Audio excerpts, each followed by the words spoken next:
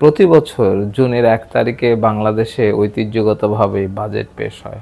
অর্থাৎ সংসদে অর্থমন্ত্রী বাজেট পেশ করেন। এই বাজেট বক্তৃতা এত বড় হয় যে আমাদের মতন সাধারণ মানুষ এগুলো শুনতে চায় না। বাংলাদেশের সাধারণ মানুষ জানতে চায় বা তারা দেখতে চায় দ্রব্য মূল্যের দাম কতটুকু কমলো, কতটুকু বাড়লো এটাই। আসলে বাজেটের উপরে খুব একটা যে নির্ভর করে তাও না। শুল্ক আরোপের ফলে কিছু কিছু জিনিসের দাম বাড়ে। কিছু পণ্যের আমদানি কর বাড়ানো হয়, এই কারণে কিছু জিনিসের দাম হয়তো বাড়ে, সেগুলো সংবাদ হয়। কিন্তু সার্বিকভাবে বাজেট নিয়ে আমাদের দেশে গবেষণা কতটুকু হয়? বাজেট নিয়ে একটি সার্বিক গবেষণা দরকার এবং কন্টিনিউয়াস এটি নিয়ে একটি রিসার্চ দরকার। এই জন্যই দরকার যে বাজেট এক বছর পর পর ঘোষণা করা হয় ঠিকই বা পেশ করা হয় ঠিকই, কিন্তু এগুলো নিয়ে বিভিন্ন পেশাজীবী, বিভিন্ন সেক্টরের ব্যবসায়ী, গবেষক, অর্থনীতিবিদ, সমাজতত্ত্ববিদ, রাজনীতিবিদ, তাদের নিয়ে একটি কন্টিনিউয়াসলি রিসার্চের ব্যাপার রয়েছে। শুধু অর্থমন্ত্রী একটি দেশের বাজেটের সমস্ত কিছু প্রণয়ন করবেন এটি কীভাবে সম্ভব? একটি দেশের এই বিপুল জনসংখ্যার সমস্যা, তাদের জন্য কি ধরনের প্রকল্প অগ্রাধিকার ভিত্তিতে নেওয়া উচিত? এটা কি শুধু একজন অর্থমন্ত্রীর পক্ষে সম্ভব? এর জন্য দরকার সমন্বিত বিভিন্ন সংস্থা, বিভিন্ন সেক্টরের স্টেক হোল্ডারদের মতামতের ভিত্তিতে একটি বাজেট পেশ করা। আমাদের দেশে যেটা হয় সেটা হচ্ছে বাজেট ঘোষণার পর সেটি নিয়ে আলোচনা হয়। সেটার ভালো, মন্দ বিভিন্ন দিক নিয়ে আলোচনা করেন। হ্যাঁ আমি জানি যে অর্থমন্ত্রী বলবেন যে হ্যাঁ বাজেট পেশ করার আগে আমরা এটা নিয়ে অনেক কাজ করি, অনেক ওয়ার্কআউট করি, অনেক মতামত নেই ইন্টারনালি এবং মন্ত্রণালয়ে, আন্তঃমন্ত্রণালয়ে বৈঠক করি। কিন্তু আমি বলছি যে, এটি যথেষ্ট নয়। কারণ হচ্ছে একটি বাজেট যখন আপনি ঘোষণা করবেন, আগামী বাজেট এবং গত বাজেট, এগুলোর সাথে সম্পর্ক কি? তার থেকে বড় কথা হচ্ছে যে এই দেশকে সামনের দিকে যদি নিয়ে যেতে হয়, কোনটি অগ্রাধিকার খাত, কোন খাতটি ইনভেস্টমেন্ট দরকার, এগুলো একক সিদ্ধান্তে সম্ভব নয়। এর জন্য দরকার একটি ইনস্টিটিউশনাল ধারাবাহিকতা।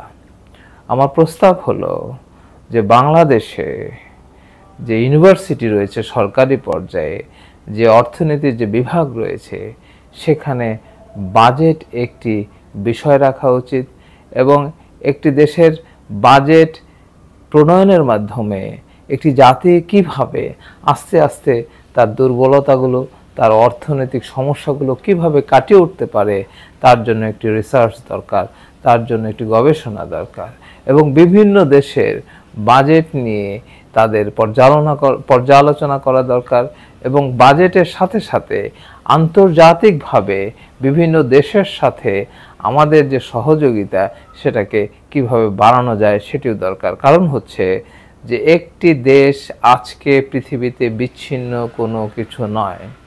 আন্তরাষ্ট্রীয় সহযোগিতা ছাড়া, আন্তর্জাতিক বাণিজ্য সহযোগিতা ছাড়া, আন্তর্জাতিক উন্নয়ন সহযোগিতা ছাড়া একটি দেশ উপরে ওঠা কোনোভাবেই সম্ভব নয়।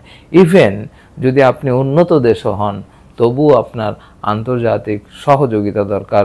প্রযুক্তি ক্ষেত্রে, আপনার অর্থনৈতিক ক্ষেত্রে, বাণিজ্যিক ক্ষেত্রে, মানব সম্পদের ক্ষেত্রে, সব ক্ষেত্রেই একে অন্যের সহযোগিতা দরকার।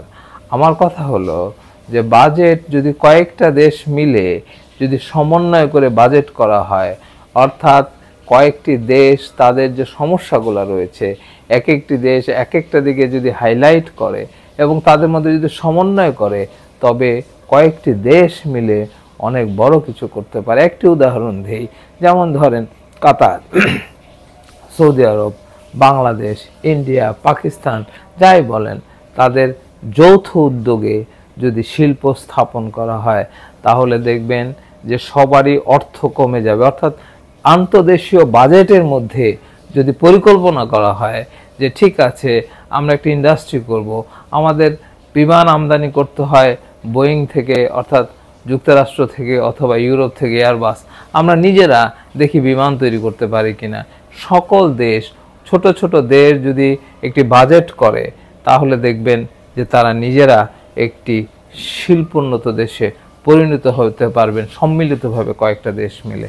এই জন্য বলছি যে ইন্ডিভিজুয়ালি যে বাজেটগুলো করা হয়, কয়েকটি দেশ মিলে যদি পরিকল্পনা করে, তাদের নিজেদের নিজেদের বাজেটগুলো ঘোষণা করে, তবে সেই বাস্তবতায় এখন পৃথিবী চলছে। আমেরিকা অনেক বড় দেশ ইউরোপিয়ান ইউনিয়ন অনেক বড় নেটওয়ার্ক চীন অনেক বড় একটি দেশ। আমাদের ছোট ছোট দেশ এককভাবে বাজেট করে কিছুই করতে পারবে না। সার্বিক উন্নয়নের জন্য বেশ কয়েকটি দেশ মিলে তারা নিজেরা কে কার দুর্বলতা রয়েছে, কার কি করা দরকার সব কিছু যদি আন্তদেশীয় একটি বাজেট পূর্বক আলোচনা করা হয়, যেমন ধরেন ভারত থেকে আমরা কি আমদানি করি, ভারত আমাদের থেকে কি আমদানি করে, চীন আমাদের থেকে কি নেয় চীন থেকে আমরা কি নেই এগুলো নিয়ে যদি আগে থেকেই আমরা নিজেরা বসতে পারি, তবে আমাদের বাজেট প্রণয়ন নীতি অনেক বেশি সুন্দর হবে। যেমন ধরেন, কৃষি। কৃষিতে আমরা ট্রাক্টর, বিভিন্ন যন্ত্রপাতি আমদানি করি উন্নত দেশ থেকে। আমরা তৃতীয় বিশ্বের কয়েকটি দেশ মিলে যদি সম্মিলিতভাবে এই কৃষি উৎপাদনের যে সরঞ্জাম, সেগুলো উৎপাদনের একটা কারখানা তৈরি করি, তবে আমরা আমাদের স্বয়ং সম্পূর্ণতা আমরা নিজেরা অনেক কিছু করতে পারি। এই বিষয়গুলো বাজেট প্রণয়নের আগে আন্তদেশীয় আমাদের সমন্বয় দরকার। অর্থাৎ বিভিন্ন দেশের আমাদের যে বন্ধু দেশগুলো রয়েছে, তাদের বাজেটের আগে আমরা যদি বলি যে হ্যাঁ তোমরা বাজেট প্রণয়ন করছ, তোমরা এই বিষয়টা সমন্বিতভাবে আমরা করা যায় কিনা? আমরা এই কয়েকটি বিষয় সমন্বিতভাবে করতে পারি কিনা, আমাদের অর্থ যাতে ব্যয় না হয়, আমদানি করতে আমরা যে পয়সা খরচ করি সেটা যদি না করতে হয়, তার জন্য একটি long term short term medium রেঞ্জে অর্থাৎ মধ্যমেয়াদী হতে পারে, আমরা পরিকল্পনা করে বাজেট তৈরি করতে পারি।